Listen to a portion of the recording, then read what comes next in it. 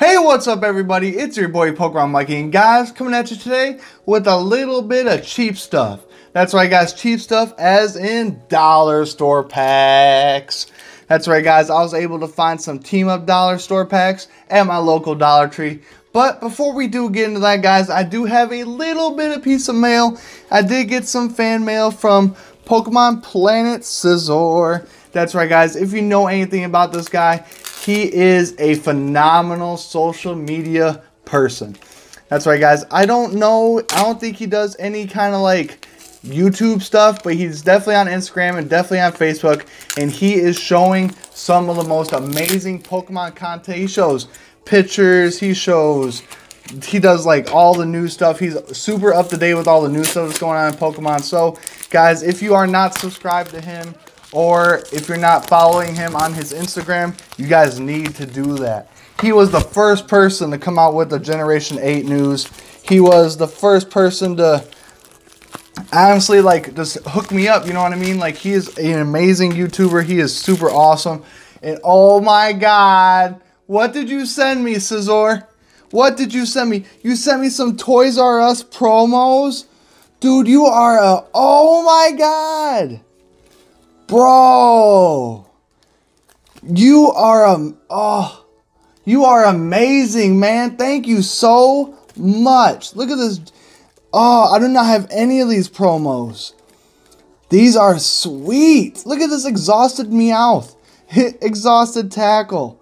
Holy cow. Thank you so much, Pokemon Planet Scizor. You are a G. Like I said, guys, so please go ahead and check him out. He is amazing. So I mean, I'm, I'm literally just speechless. I don't know what to say. So thank you so much, Scizor. If you're watching this, man, you are the man. But guys, let's go ahead and crack into some of these team up stuff I do have. And apparently, I must have missed something because I do have a Lost Thunder and Celestial Storm hiding in here.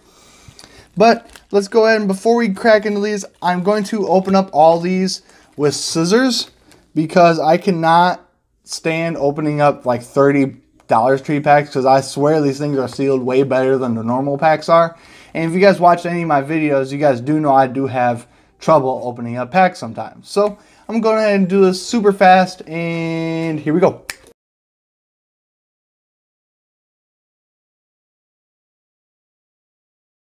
Alright guys, I do apologize for the scissor speed up video, but like I said guys, this just way too many packs to crack into. So without further ado, we do have 26 $25 store packs.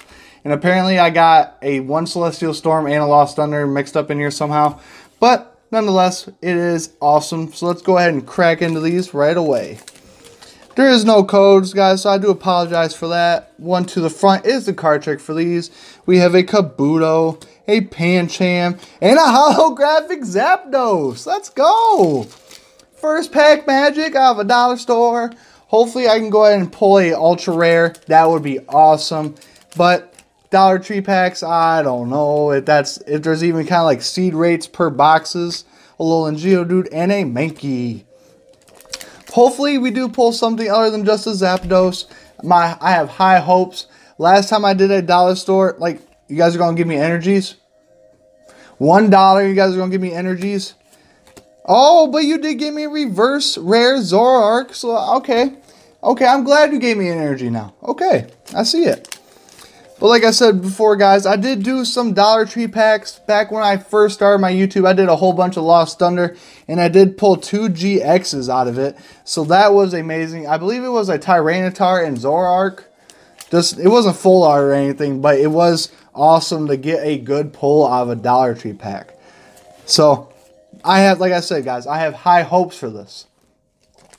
And guys, please comment down below and let me know how excited you are about these this new Generation 8 of Pokemon that came out. Are you guys going to go with the fire type, water type, or grass type? I really think I like Grookey the most, to be honest with you. And I've never once been a grass type trainer. I never picked Bulbasaur. I never did you know what I mean? I never did Chespin, never did. I was always a fire type and water type if I didn't like the fire starter. You know, so I always rolled with Torchic. I did Cyndaquil.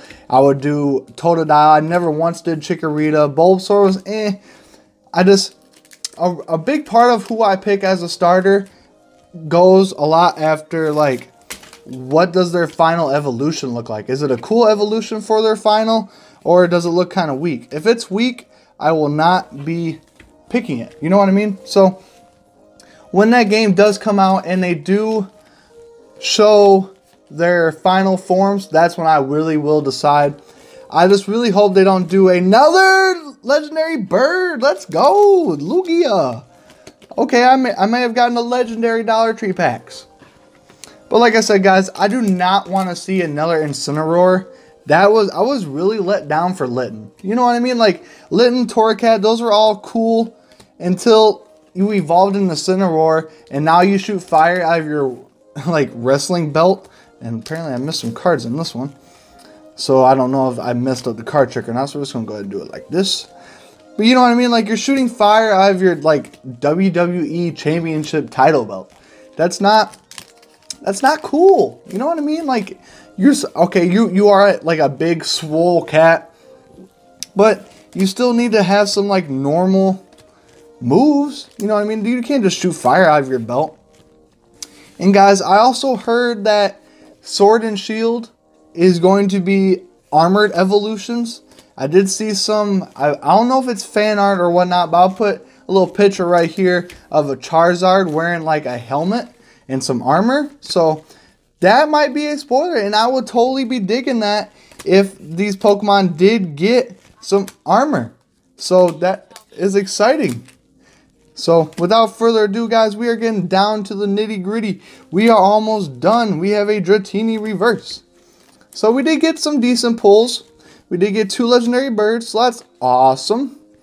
Return label again, Nidoran, and a Mareep.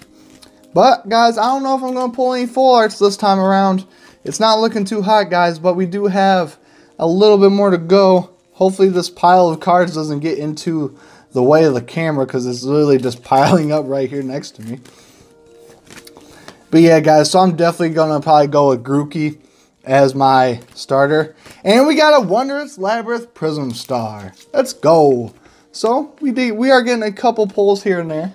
No super rare pulls. No new pulls yet. Besides that Zoroark reverse.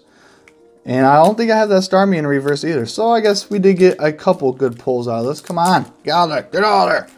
Get out of there. Get out of there. Come on. There we go. Nope. Alright, so that's I don't know what that is. So we'll just go ahead and do it like this. Emolga, Heliolisk, and a Alolan Grimer. We have Celestial Storm now. Maybe maybe this is what we're going to get the secret rare in. Who knows? A Marshtomp, Torchic, and a Regice rare. Put those off to the side. I don't want to mix them up with my team up pile. But yeah, Grookey is definitely going to be my main man for that. Scorbunny doesn't really seem too, like, interesting, if you will. I mean, he is the fire starter. He does look like he has some good possibilities for being something crazy. But I don't want to like get my hopes up and then have his evolution be weak. Because that tends to happen sometimes when you jump the gun. Alright guys, two packs left. Got so much garbage. Got so many cards I don't need. But nonetheless, we do not have a Zoroark reverse. So, last pack magic time. Last pack magic time. Kangaskhan. Charmander. And Helioptile, no super rares, no anything, but we did come out with five pulls. We did get a Starmie reverse rare, a Zoroark, do not have that card yet, reverse rare, a Zapdos, and a Lugia holographic, and we did get one Prism Star, which is Wondrous Labyrinth. It is a stadium card card. Well, I guess that might be pretty decent for the TCG.